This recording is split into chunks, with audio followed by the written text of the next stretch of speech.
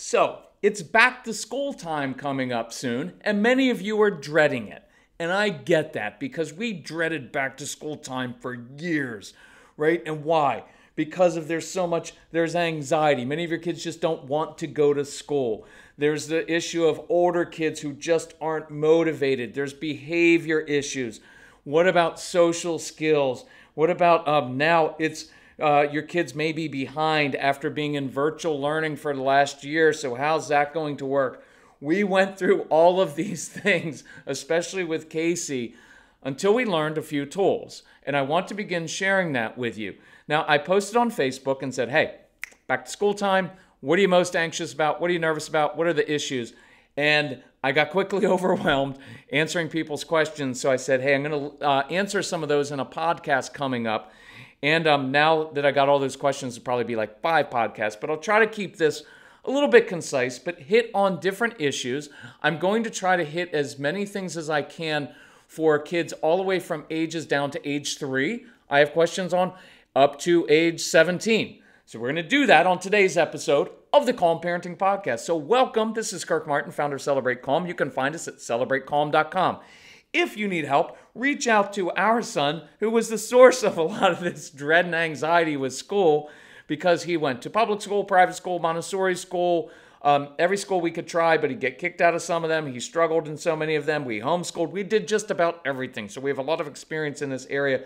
I have trained uh, hundreds of thousands of teachers in different schools. And so um, let's dig into this. So if you need help, reach out to Casey. He will understand your anxiety and your dread, and he'll help you out. So tell us about it. C A S E Y, Casey at celebratecalm.com. Tell us about your family, age of the child, what are you struggling with? And we'll reply back personally because this is a personal thing for us. It's a family mission and give you some ideas and strategies and some tips. Hopefully, we'll relieve some of your anxiety. If you need any of our, uh, our resources, Casey will put together a specific bundle for you within your budget, or you can just take advantage of the back to school sale. So, Let's go through this. Um, I'm going to try to go through as quickly as I can, but also be thorough. The one thing I'd ask you to start thinking about as we get into the school year is what are your goals for your child? What exactly do you want? Right? Because you can go down the path that some parents will be like, well, I want my child to get all A's. I want honor roll. I want uh, to take honors classes, or I want all A's and B's. What we came to was, we wanted to set our goals and align our objectives with long term thinking. And so, what we came up with is we want a curious child who loves to learn, right? That was the basis. And as he began to get confidence, we were like, we want a confident child who's confident enough, stable enough to push through when things get hard because that will build even more confidence. Some of your kids are not there yet because it takes a while to build that confidence, especially those that have had some really difficult times with school.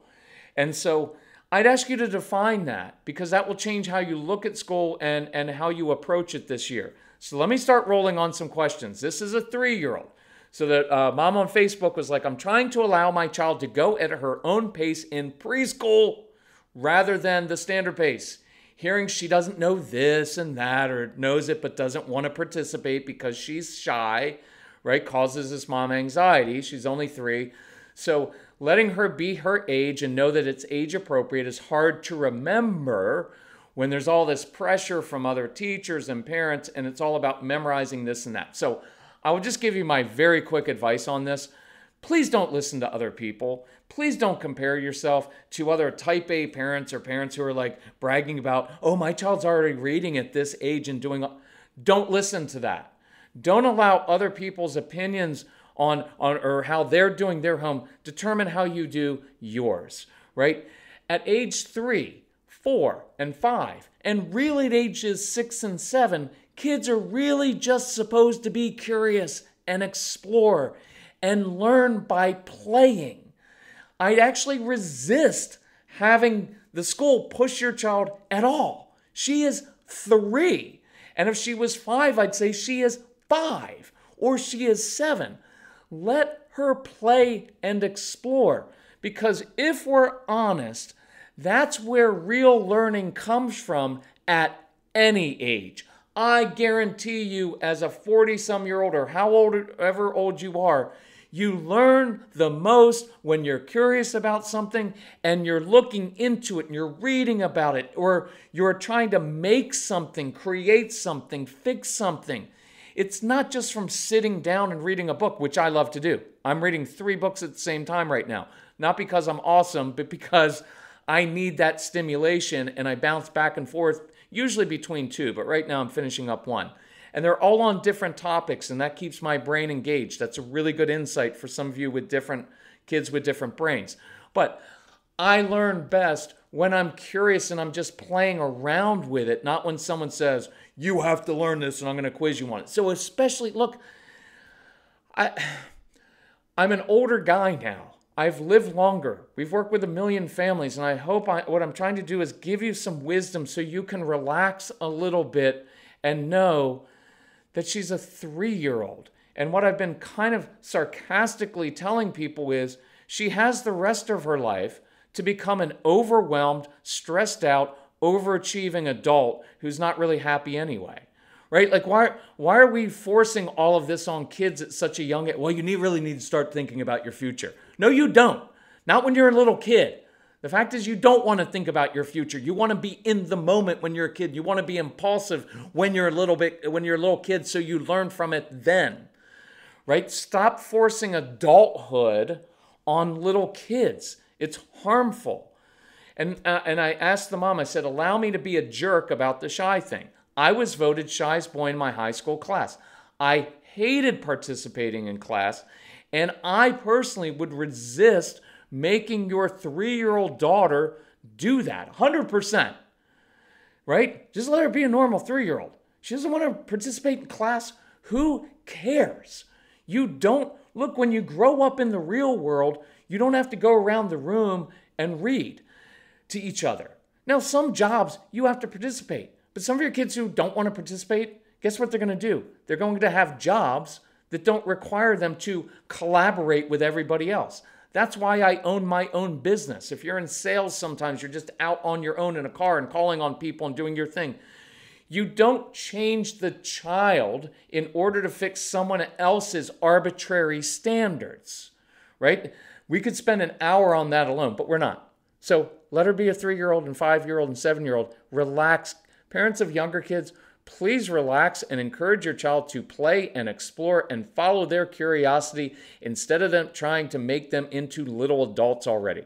Well, next question. I'm worried about my five year old entering kindergarten. He learns best via play based learning. Good. He hates circle time. Good. He's just overall hands on kid. Isn't it sad, by the way, that that that is now seen as like, uh-oh, we're going to have to really do something about that. No, that's the way they're supposed to be. And the mom says in this, oh, and let's just say he is assertive. I know what that means, kind of bossy, but I like assertive. And a leader, never a follower. I'm hoping for an open minded teacher willing to think outside the box to help a child learn the way they are receptive to learning. And so, my response to you awesome mom is get ready for the phone calls. You, if you are a uh, parent of a strong willed child, you are going to get calls from the school early on. Well, your son or your daughter, your son will not follow directions. I've asked him to sit still in circle time and he will not sit still. And I think we're having, I don't know if he has some hearing problems. No, he doesn't. He probably just doesn't want to do it, nor should he right? Well, I asked your daughter to do things and she just gets up and walks around and walks out the door of my classroom. Now, can you allow kids to do whatever they want? No. Within your boundaries, you have to have some boundaries here, but here's what I mean by this. This child, if, if your son were to come into my classroom, I would observe him and know this is a hands on kid and he needs to be given missions. And this is actually for most of our kids, whether they're five or 15. I want to engage their brain where they are because otherwise you're going to get all these calls like, well, he can't follow directions and he doesn't listen to me, he doesn't do all these things. And so when I go and talk to the teacher before school begins, I'm going to say, look, I've got this amazing young man who's really curious about things and he loves tinkering with things in his hands. And he is a leader, he's not a follower. So use him in class. So when this kid's in my class, I'm giving him jobs to do, I'm giving him challenges Circle time. We do a lot of teacher training. And if you want us to train your teachers, reach out to Casey and tell them, and we'll try to hook up with your school so we can come and train the school teachers. And I always make this joke in teacher training because teachers have really hard jobs. Imagine most of us with like one or two strong willed children. Imagine having like five or eight or 10 in your class and 20 kids total. It's not that easy, right? And they have all kinds of other demands on them. So I have a lot of um, uh, mercy and compassion on on teachers because a lot of them give their lives to this and they really do struggle with it. And the mom had said, "I hope I have a teacher who's open-minded."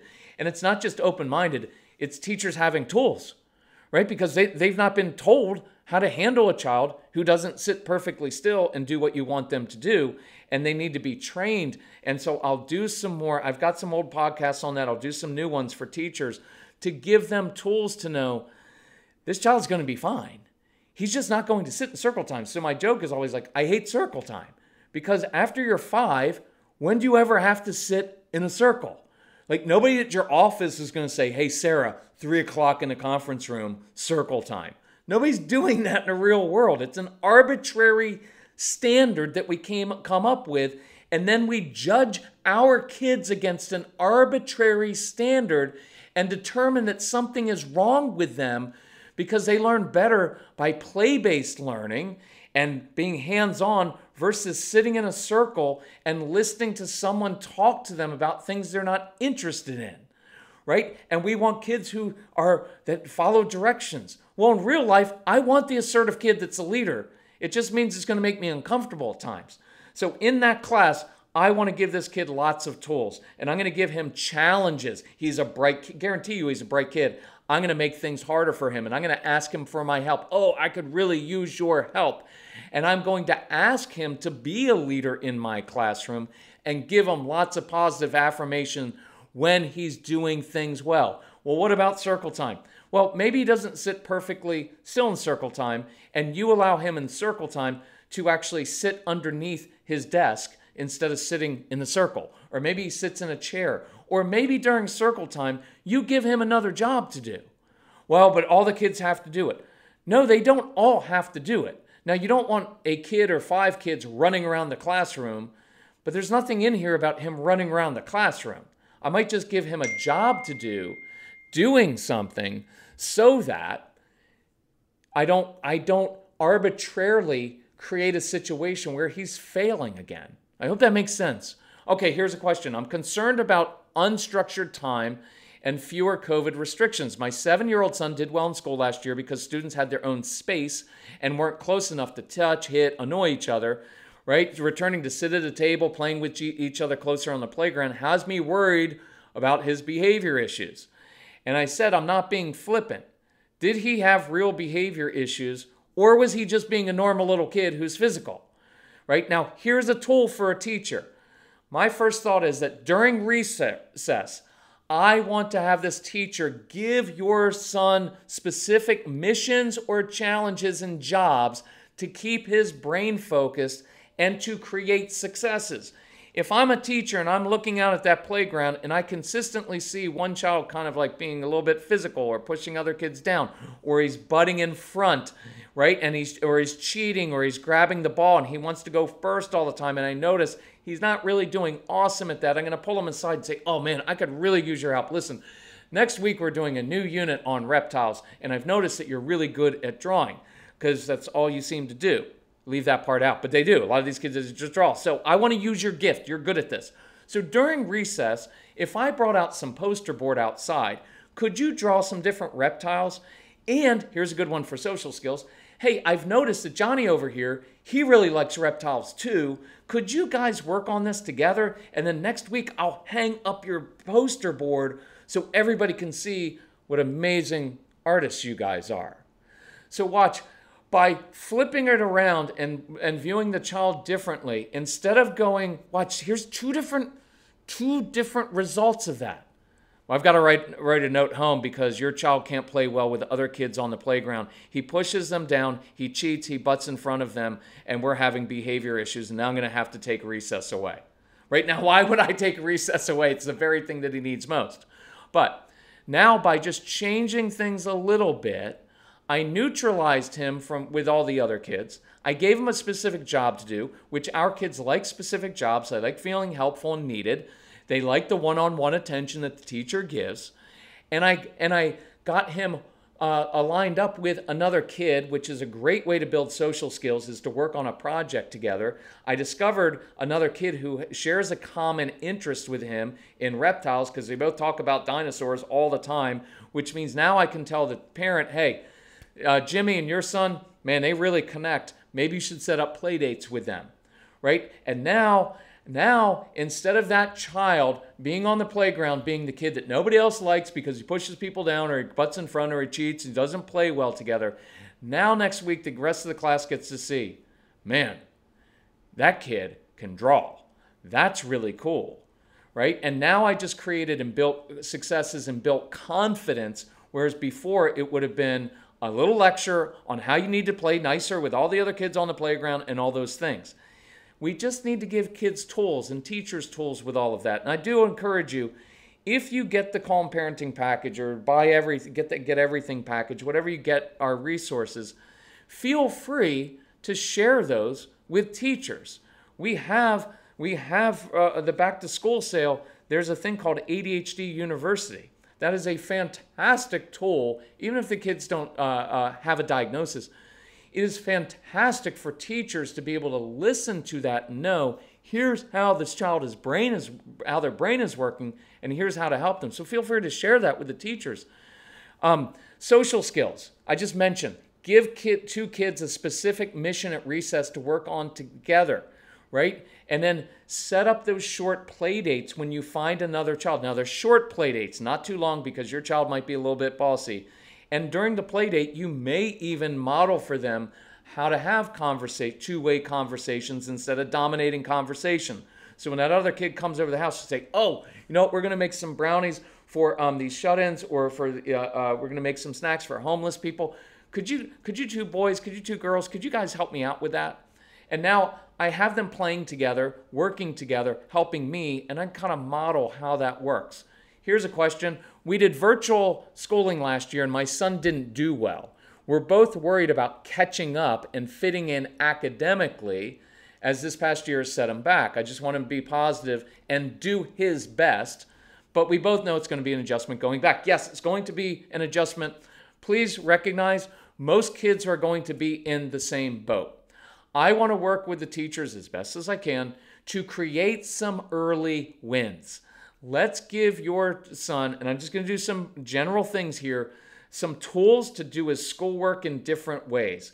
Whether that is with older kids, allowing them to chew gum while they do writing projects, or uh, uh, writing while they're writing essays, to allowing younger kids to sit underneath their desk while they're doing their work, or maybe a child instead of sitting at circle time, he gets to lay down at circle time.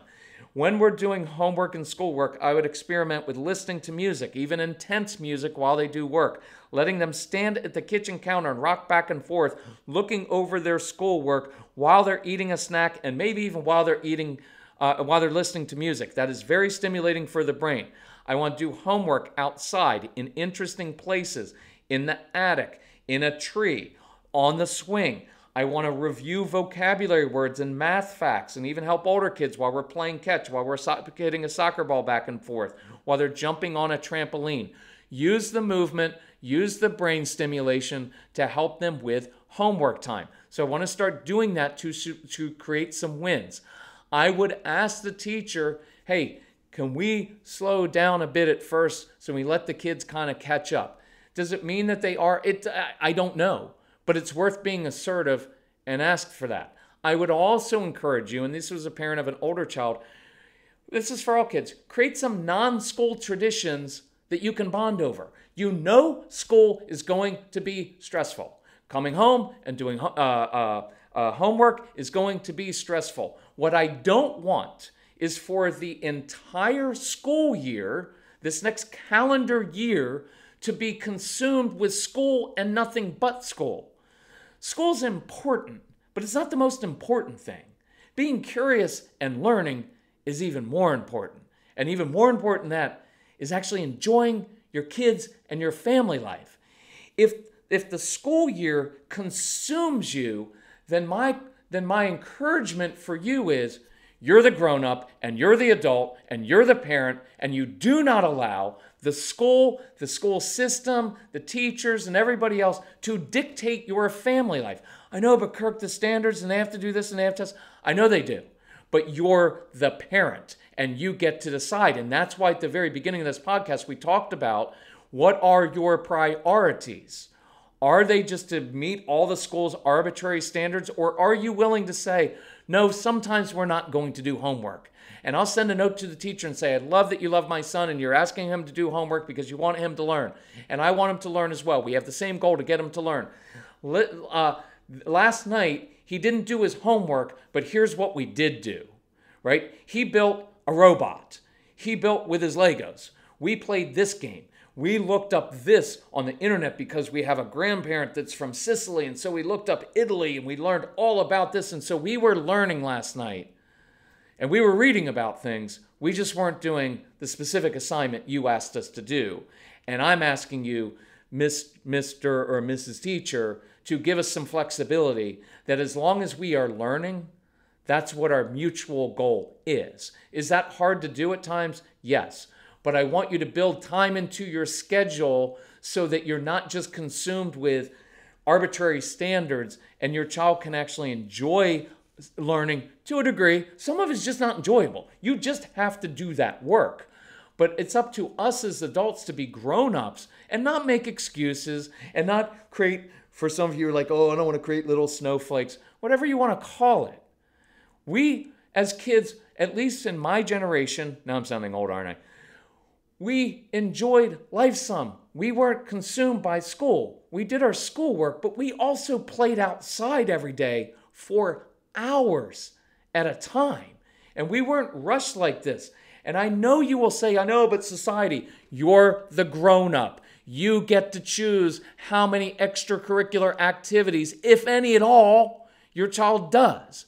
Does he have to do travel sports? Or could you just play club soccer so you don't have to travel and spend $8,000 a year, right, on, on a travel sport that stresses everybody? You get to make the choice, mom and dad, and it takes a little bit of courage, but you have that choice. And you can push back on society.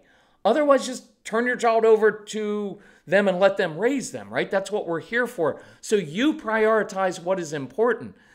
And here's another thing that you're not going to want to hear. This mom, like many in that Facebook post, were like, Well, I just want my child to do his best. I hate that phrase. It is an unreasonable expectation that you must, you know what, I'm going to be bossy. You better let go of that expectation. Well, I just want you to do your best. Why? Did you do your best today in everything that you did? Do you do your best all the time? No. Why? Because it's impossible to do your best at everything. Reframe those expectations of yourself as the parent, right? Of like, well, I've got to run around like all the other parents and have my child signed up for 15 different things and do all these things and make sure that he does his best. Why? That's not a reasonable expectation right? And there's nothing that says that that's going to create success for your child in life. Not at all. Probably be better if you do fewer things, but do them well. But just so you know, maybe I'll do this again. Nobody does their best at everything. The key is to do your best at the right things, at the most important things. And sometimes you just do the minimal work necessary on the things that don't matter, or you don't do them at all and you hire someone else as an adult to do those things. Right? Does that make sense? You do, that's prioritized. I've got to move on. Anxiety over going back to school. Anxiety is caused by unknowns. So try to eliminate the unknowns as much as possible. I would go take your child to school, into that school, outside of the school, walk around if they're young, before school even begins. Ask the principal, the administration, can we walk through the school so we can see how it smells, how it tastes, how it feels? Because your child, so your kids soak those things up, and familiar familiarity. Let me say it this way: being familiar with it helps eliminate some of the unknowns. I would find a teacher, an assistant principal, some adult, a guidance counselor, anyone at that school who needs your child's help or can use their particular gifts, talents, and passions. Is there a cool teacher? Is there a guidance counselor? Is there an assistant principal who will connect with your child and say, oh man, you are really good at X. You are really good with electronics. Could you come into school every day? Will you help me get my whiteboard set up? Can you help me with X? If it's a little child, helping move the books from one side of the classroom to the other side of the classroom. Just do it every day. Your kids won't care. They just like feeling helpful. Not at your house, not for you, but for other people. And then again, I'm going to skip that one. I already did that one on social skills. But let's get your child with that anxiety. See if there's someone that they can connect with. Um, I would maybe see if there is one friend, someone that they will, uh, someone that shares a common interest in their classroom, so that at least every day, if I'm anxious and nervous about all of my stuff, at least if I know little Johnny or older Susie's going to be there, okay, that brings me a little bit of relief. Two more older kids. So I'm concerned about communicating well with my strong willed 14 year old daughter who thinks differently than I do. Good insight, Mom. That's good to know. She's very driven and overall a wonderful kid, but we definitely butt heads more during the school year when we're both feeling the pressure of getting everything done. I'll try to do an entire podcast on this, but my gut feeling is your daughter is generally conscientious. So why don't you turn over more responsibility to her? She's 14. Let her learn on her own by mistake making mistakes now rather than when she's 16 or 17. And let her enjoy her independence. And you can show her that you trust her to just figure it out. So I'd back off a bit. Our phrase is when we step back as parents, it gives kids to step up and be responsible for themselves. So I step back and say, honey, I believe you're capable of handling this and I admire your independence. So I'm going to step back and back off a little bit. Now, if you get overwhelmed or if you need my help, you know I'm always here. Just come get me. But see, I've just given her confidence and said, I believe you're capable of handling this. And you're also saying, even if you do mess up at first, it's okay because you'll learn from that. And if you do need me, come get me. But that's a lot better than hovering over her. And you can be you know, as kids get older, I like to give wisdom and perspective to know, hey, honey, I know that you're conscientious and you want to do all these things. I just want you to know that this decision right now at age 14, over, or this test that you're taking at age 14, it's not going to determine whether your life is happy or not. It's just not. So, yes, I want you to study for it, and I do admire you because you're on top of things, but I want you to know you don't have to worry so much, and I don't want you losing sleep, and I don't want you being anxious about it you're a good kid, you're a smart kid, and you're going to figure it out. So, does that make sense? I, I, I give some perspective, right? Because we're all feeling the pressure of like, oh, we have to get our child into the right school. No, you don't. You don't. And you need to you need to be the grown up who gives perspective and says, look, I, how many of us didn't figure life out until we were maybe after college, maybe it was in college. Some of you maybe last year, right? Some of you still haven't figured life out. Or are you still in the process of it? It's a process. It's not like you have a test to take when you're age 15 and the rest of your life is going to be determined by that. What a horrible thing we do to our kids to rob them of their childhood because we're too afraid to give them some perspective and wisdom to say, that class, it doesn't really matter that much. It just doesn't. But if you want to do well in it, it would be awesome for me because it would help my anxiety. So, I would also ask her questions when kids get older. You said, Mom, um, she thinks differently than I do. So good. So use that and say, How would you handle this? I know the way I normally did it, but I, I really want to learn how you think because I wish I was more like you. So rather than lecturing and directing and controlling, let's be more curious. Now, here's the last one. My son's 17. He's going into his senior year, but he's falling behind because he's failed several of his online classes last year. He went back to per- in person in the third trimester last year and he passed all of his classes. So we know he does better in person, but I'm worried he'll refuse to go because he doesn't really have a vision for college, doesn't see the importance of a high school diploma because he thinks he's going to be a successful gamer. And so that's very, very common. And so he took one class over summer in online and he failed it. So this is hard, but here's what I'd, I, I'd encourage you to do. Two things. One is perspective. Sometimes kids like this have to touch the hot stove and learn for themselves. So I definitely let him know He can pursue that path if he wants, but he's going to have to finance it by himself, right? So I'd sit down in a casual, matter of fact way and say, hey, look, if that's your vision, let's start doing some planning. So let's see what uh, you know a small apartment's going to cost, how much is a car, how much is gas, how much are utilities, insurance, food. Let's sit down and make a budget so that you know as you're pursuing this vision for yourself how much money you're going to need. Because once you do that, it becomes more real. And you're not giving him a lecture of like, well, that's not the right way to roll with it a little bit and let him come to it on his own of like, well, maybe I should graduate and maybe I could go to a community college while I'm working a job, which would be an awesome thing probably for this young man. But here's what I would do proactively. Let's try to find one person at school he can connect with and one mission or job he can do there in person. You know, we asked a little bit um, about one of the other kids, and he was like, "Well, he's kind of into tennis." Okay, so maybe is there is there a tennis team? Is there an opportunity for him to teach other kids tennis? Maybe this kid is this kid is in particular is into technology. So could he help a teacher or someone in administration with technology issues at school? Could he start a gaming club?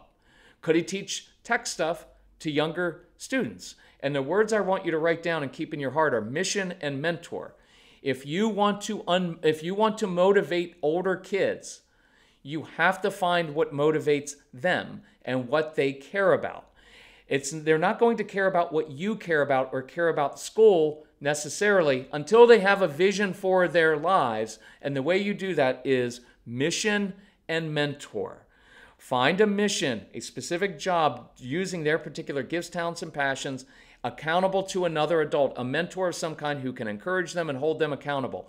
It is a really cool process. We teach you that in our programs, and we're glad to take you through that. But I don't even know how long this is 32 minutes, kind of long, but I think I hope it was worth it for you. And I'll do some more on back to school time. Um, I'm doing, starting to do phone consultations on it because people are freaking out. So we can come up with a very specific game plan of what do we tell the teacher, how do we prepare our child for this coming school year, how do we set up our home, how do we how do we align ourselves so that we have a successful school year. Uh, we've got the back to school sale. If you need help with that, reach out to Casey, see it online. Thank you for doing what you do. Let's make this school year a good one. Uh, listen to this podcast, share it with others, and then um, let's just start setting some good things, positive things in place. Anyway, love you all. Talk to you soon. Bye bye.